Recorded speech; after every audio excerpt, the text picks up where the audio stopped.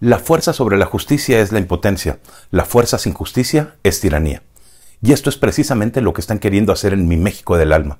El actual presidente de la República, que pretende retirarse a su rancho dentro de tres meses, quiere tomar por fuerza lo que la ley no le da y es que pretende tener una sobrerepresentación en el Congreso en contra de todo lo que dice la Constitución y de los derechos y candados que nos protegen a los ciudadanos de actos totalitarios de un grupo político o de una persona, como es el caso actual. Déjenme explicarles. La Constitución mexicana dice que la Cámara de Diputados estará integrada por 500 diputados, pero que 300 de ellos serán elegidos según el principio de votación mayoritaria y los 200 restantes según el principio de representación proporcional. El artículo 54 de esta misma Constitución, en su fracción cuarta, dice que ningún partido político podrá contar con más de 300 diputados por ambos principios. Pero la duda que muchos tienen actualmente es si este artículo limita también a las coaliciones. Y la respuesta es sí no es una respuesta que puedas encontrar directamente en la Constitución, pero que se puede interpretar si comprendes los motivos que hubo para la creación de esa ley. No voy a leer toda la exposición de motivos de la reforma constitucional de 1996, pero sí resaltaré que a partir de la publicación de la misma Toda decisión fundamental para la República que tenga rango constitucional deberá contar invariablemente con el apoyo de legisladores de más de un partido político ya que en la misma se reducía, a propósito, el número máximo de diputados electos por los principios de mayoría relativa y de representación proporcional que pueda tener un, partido político. Con ese mismo propósito, la iniciativa plantea que ningún partido político puede tener un número de diputados por ambos principios de elección cuyo porcentaje de integrantes de la Cámara de Diputados exceda de 8% el porcentaje de la votación nacional emitida a su favor. Las coaliciones representan una misma fuerza política con varios partidos políticos.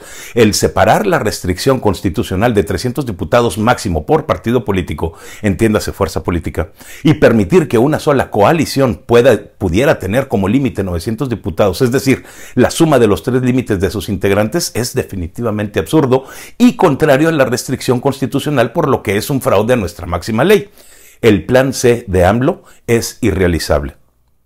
La Constitución pone un límite de 300 diputados como máximo a una fuerza política, entiéndase partido o coalición.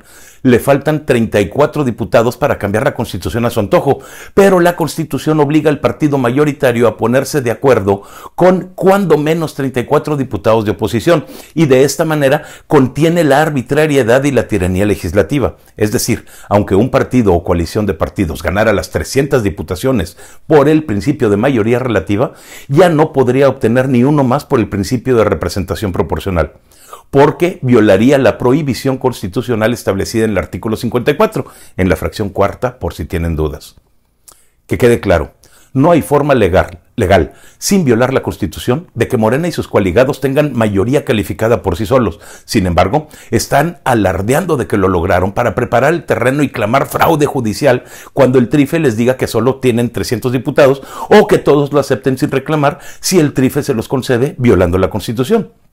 Así es que, ya saben, literalmente estamos en manos del TRIFE, ese organismo público al que Morena no ha querido dotar de los dos magistrados que faltan desde septiembre u octubre del año pasado por instrucciones del presidente. ¿Sí recuerdan a los magistrados? Yo sí. Durante meses estuve preguntando qué es lo que iba a pasar con ellos e incluso Emilio Álvarez y Casa medio me quiso dar una respuesta, pero fue incompleta y terminó por no decirme nada. Los ciudadanos estuvimos exigiendo que se tomaran cartas en el asunto desde antes de las elecciones y los partidos políticos no hicieron nada. Otro motivo para dejarlos desaparecer en medio del odio colectivo de la ciudadanía que confió en ellos para que luego la dejaran abandonada a su suerte. Me refiero al PRI y al PAN. El PRD desapareció solito y sin ayuda de nadie. La situación por la que está pasando la República Mexicana no es nueva para nosotros, los que tenemos más de 40 años pero sí es nueva para los jóvenes ilusos que piensan que lo que está haciendo López y que avala Claudia es la verdadera forma de salir adelante. Sin duda alguna la juventud piensa que la distribución irrestricta y obligatoria de los bienes que una persona ha acumulado con el trabajo y el esfuerzo es para mejorar a la especie humana, pero paradójicamente no es así. Si con eso se arreglaran las cosas, en México no se estuviera amenazando a las universidades privadas con desaparecerlas. Ni tampoco se estuvieran cayendo las estructuras del tren Maya. Menos se hubieran muerto 800 mil personas por la mala atención médica en la pandemia, y los que murieron en los elevadores del IMSS seguirían vivos. La realidad es muy diferente a como te la quieren pintar. Desgraciadamente, muchas personas le compraron el discurso a Claudia y se olvidaron de cómo todos y cada uno de los indicadores de salud, economía, educación, empleo, productividad y el que quieras han disminuido por el pésimo desempeño de Andrés Manuel y su yunta de secretarios que lo acompañan. Morena te quiere hacer creer que la voluntad del presidente es la tuya y te dicen las cosas bonitas y que el 80% de los mexicanos quieren sus modificaciones constitucionales.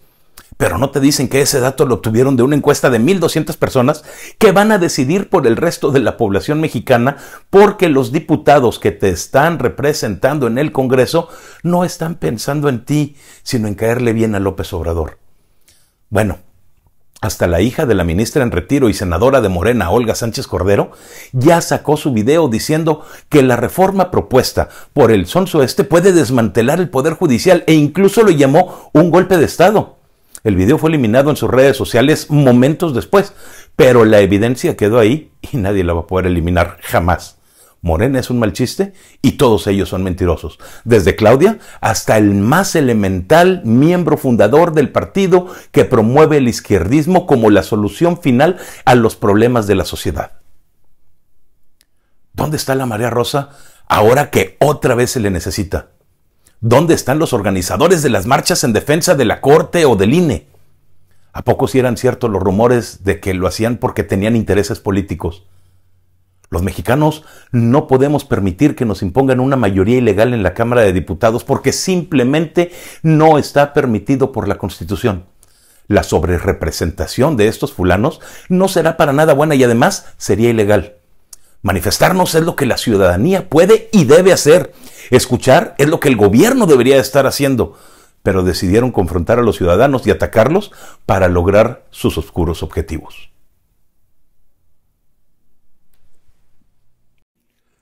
La tragicomedia mexicana no se detiene y esta semana inició con el anuncio de que el destino del sistema judicial mexicano depende de una encuesta realizada a 1.200 personas encuestadas por el partido Morena y con lo cual buscan dar legitimidad a una decisión que ya habían tomado con anterioridad los líderes izquierdistas de ese partido, pero que en un intento por calmar los mercados mientras cumplen los caprichos del señor del Palacio, pues buscaron legitimar para evitar la caída del peso mexicano ante el dólar.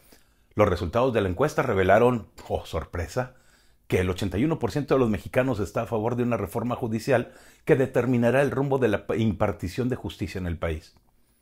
Los problemas económicos en los que estará el gobierno de Claudia una vez que tome el control serán muchos y muy variados. AMLO le está dejando un país con un déficit fiscal que no teníamos hace 24 años, con una deuda como nunca, una recaudación menor a lo esperado y una población sedienta de que le regalen más cosas a los mexicanos trabajadores, a los que pagamos impuestos, nos toca poquinar para sacar adelante el país. Pero, ¿y esos que no hacen nada más que vivir bien del dinero que les da el gobierno? ¿Cuándo pondrán algo de su parte para que todos vivamos bien? Andrés López nos está endeudando como nunca. La deuda de este sexenio es el equivalente a cuatro fobaproas.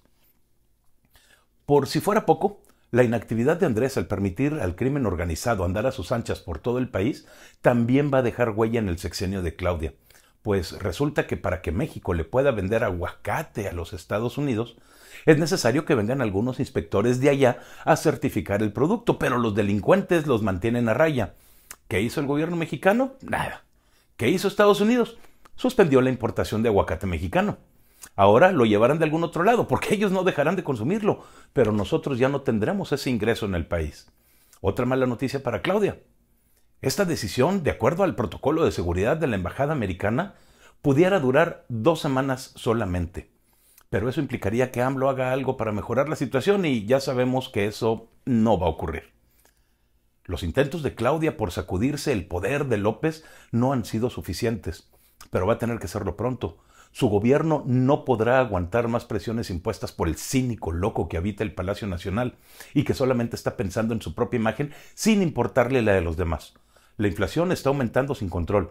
El peso se está depreciando rápidamente frente al dólar, a pesar de que el Banco de México paga tasas de interés de casi 12%. Los precios de los productos alimenticios están subiendo también. La cerveza ha subido 25%, el calzado de caballero ha subido 46% en poco más de 5 años, los zapatos de mujeres 35%, pero el miserable de Palacio te asegura que con solo un par es suficiente, así es que no debería de ser problema, ¿no? En la vida real, no lo que Andrés quiere que, creas, los productos de primera necesidad no están disponibles para todos el video de una pareja y su hijo de compras en bodega horrera, llenando el carrito de productos caducos, en cantidades insuficientes y con un bajo contenido nutrimental, nos dice que en México aún hay personas en extrema pobreza. Dato que no creen los chairos, pero ¿para qué más habrían subido un video eh, así que no justifica otra cosa más que el fracaso de la economía de López y la derrota del gobierno ante la inflación? En tan solo los dos minutos que dura el video, se encargaron de demostrar que el poder adquisitivo está por los suelos, que les interesa justificar la pobreza pero no resolverla, que la gente no sabe alimentarse y que el etiquetado canijo horrible ese que pusieron no sirvió absolutamente para nada. Así como no sirvió para nada ninguna de las acciones tomadas por el actual presidente saliente durante su sexenio. Por ejemplo, ¿recuerdan que presumía el superpeso? Pues ya se le salió de control en las últimas dos semanas. Y ahora el Banco de México está planeando subastar 30 mil millones de dólares como cobertura cambiaria para contener la caída de la paridad del peso y el dólar. Una medida desesperada para bajar el tipo de cambio que no funcionará a largo plazo, mientras que desperdicia dinero del bueno que pudiera servir para otra cosa si el presidente se decidiera hacer las cosas bien, pero es más precioso su ego, ¿no? que el bienestar de miles y millones de mexicanos. El peso mexicano lleva dos semanas de ser la divisa más depreciada contra el dólar a nivel mundial. El ego del presidente nos llevó a eso porque, pues a final de cuentas, eso fue. Es por su ego y la necesidad de una venganza que quiere tumbar la corte. Y esa decisión es la que está poniendo nerviosos a los mercados, provocando la depreciación de la moneda.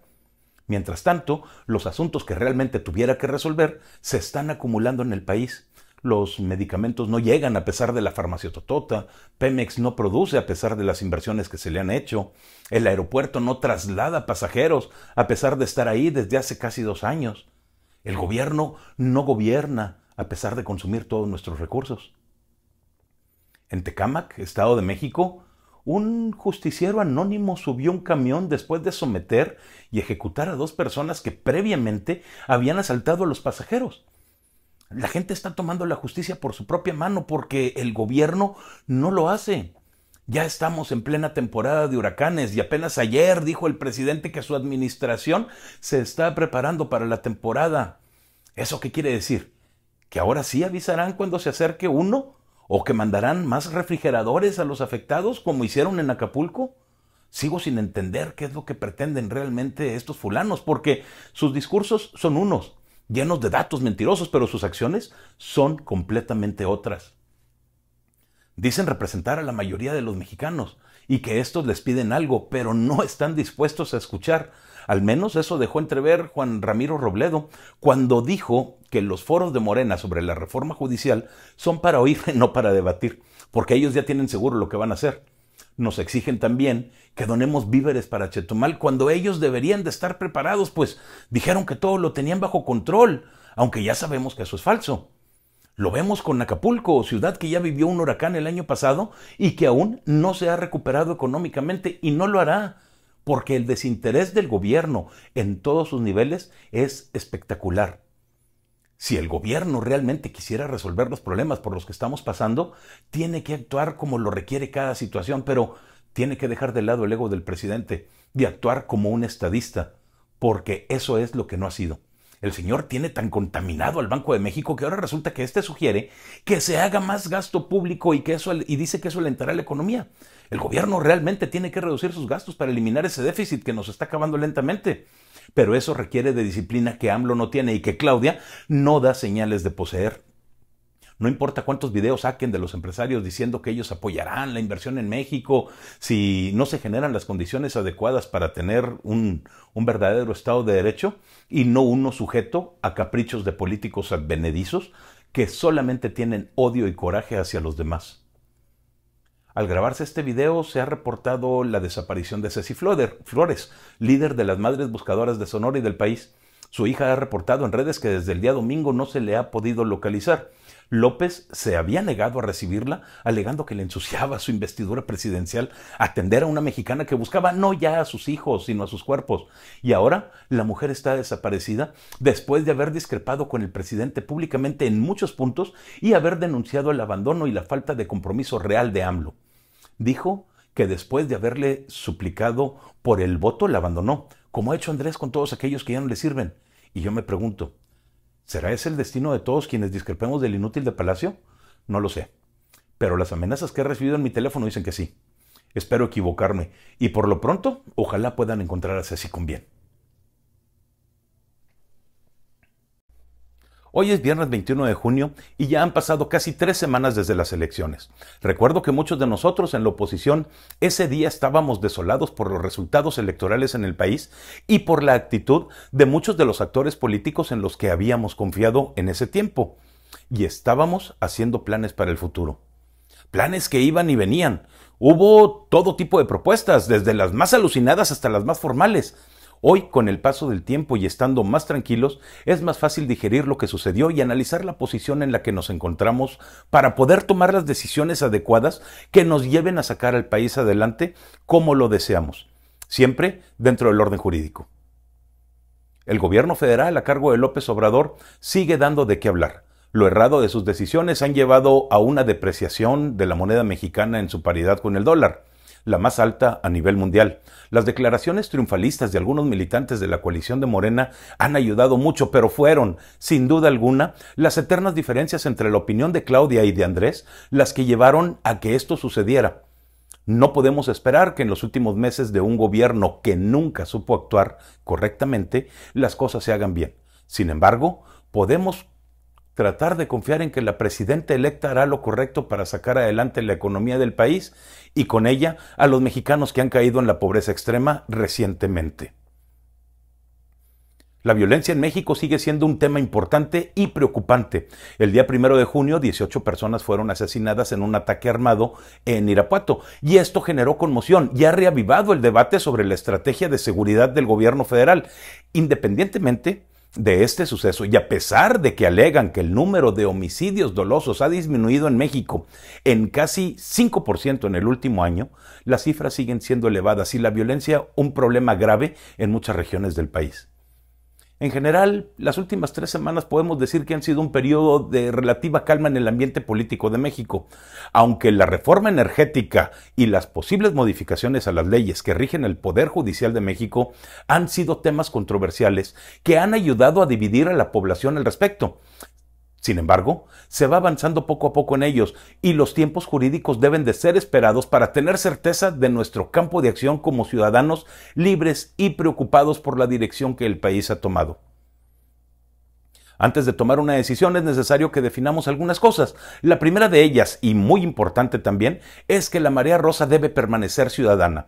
Por ningún motivo sus líderes naturales a nivel nacional deben siquiera insinuar que quieren organizar un partido político para ellos ser dirigentes. ¿La marea rosa es ciudadana o no es? Sin embargo, ya hubo quienes han hecho un llamado a la sociedad civil a reunirse en la Ciudad de México para discutir la posibilidad de que los ciudadanos se puedan integrar en una asociación civil y de esa forma organizar un partido que nada tendrá que ver con la Marea Rosa.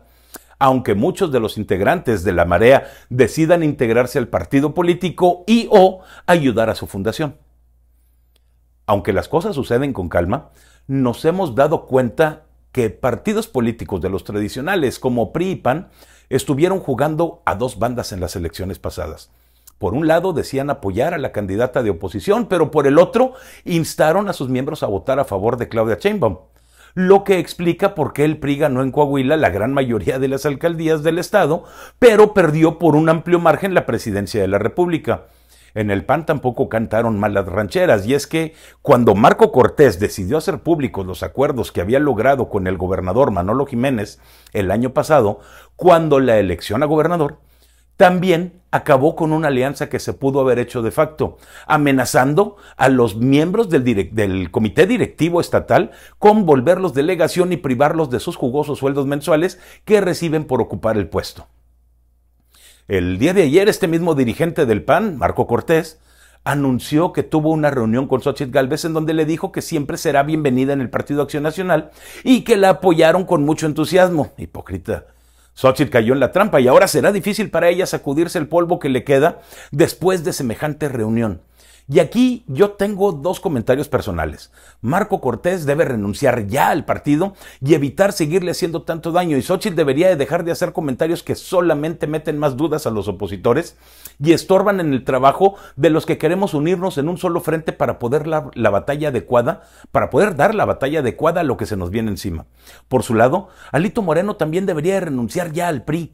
Durante sus años como líder nacional, el partido ha llegado a su menor expresión al quedarles solamente dos estados como gobernantes y muy pocas diputaciones. Los miembros activos del partido ya no son nada comparado con hace seis años y cada vez son menos. Alito también es un peligro para el PRI y ya debería dejarlo. Cambiarles el nombre y el logotipo no va a ser suficiente para resucitarlo después de la amplia derrota que sufrió a manos de Morena en las últimas elecciones. En este tiempo se ha hablado mucho de la sobrerepresentación que pretende Morena en el Congreso. Desafortunadamente, los artículos de la ley que hablan de las diputaciones plurinominales pueden ser sujetos a interpretación, y es aquí donde debemos tener cuidado con lo que hacen los magistrados del Tribunal Electoral, porque si bien es cierto que la ley no es clara de manera directa al respecto de este tema, también es cierto que en la exposición de motivos donde se desarrollaron los artículos de la ley correspondientes, se especifica claramente que lo que se está evitando es una sobrerepresentación de un solo partido político o coalición, para lo que a nosotros nos atañe. Cualquier decisión que tome el tribunal que lleve a que las coaliciones como tales tengan una representación en la Cámara de Diputados diferente en 8% a la votación recibida durante las elecciones del 2 de junio es ilegal. Por lo tanto, podemos decir que el deseo de Andrés Manuel López Obrador de tomar el control y tener la mayoría absoluta en la Cámara Alta del Congreso de la Unión es ilegal. Los tiempos establecidos en la ley para tomar decisiones aún no han llegado, pero la participación de todos en la oposición es necesaria. Sin embargo, también es indispensable que permanezcamos unidos como un solo grupo, a pesar de nuestras diferencias, porque de otra manera cada quien estaremos jalando para nuestro lado y de oposición no tendremos más que el puro nombre. A río revuelto ganancia de pescadores, dice el conocido refrán, y aún así hay tantas cosas que podemos lograr juntos, porque si es necesario cambiar de líderes, es muy fácil hacerlo, siempre y cuando estemos todos de acuerdo. La reunión del 6 de julio que proponen Emilio Álvarez y Casa, Acosta Naranjo y llamado Avendaño no es una reunión para lograr un partido político como muchos piensan, sino un Congreso Nacional de ciudadanos libres e independientes en donde se están pidiendo opiniones que cada persona pueda llevar para ver cuáles son los mejores pasos a seguir y garantizar todo lo que les he platicado hasta ahora. Sigamos reflexionando y luchando por el México que queremos. No podemos perder la esperanza de que todo saldrá bien al final, pero debemos tomar en cuenta las experiencias pasadas para darnos cuenta de en dónde tenemos que actuar. Y sin duda, el principal problema de México es la educación, como muchos hemos podido observarlo. Nuestro trabajo está ahí, en educar a las masas y despertarles la curiosidad por las ciencias, por el estudio, las matemáticas, enseñarles de finanzas y economía, por ende de política. Si no hacemos esto, los ciudadanos siempre estarán sometidos a los designios de aquellos que sean populares, aunque no precisamente sean los más brillantes, como lo estamos viendo ahora. Si no despertamos en los ciudadanos jóvenes la inquietud por lograr siempre algo mejor, estaremos sujetos a lo que el gobierno nos quiera dar o aprobar. Perderemos la libertad y la cambiaremos por un sustento mediocre que, como en la antigua Roma, llevó a la destrucción del imperio y con ello la calidad de vida de sus ciudadanos.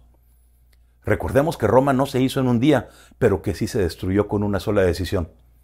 El conocimiento conlleva una gran responsabilidad y esta es la situación en la que nos encontramos todos nosotros el día de hoy los que sabemos que un México próspero se puede lograr sin el estorbo del gobierno y con toda su gente teniendo un gran nivel de vida. Pero hay muchos que no pueden que no pueden verlo porque no están preparados para ello.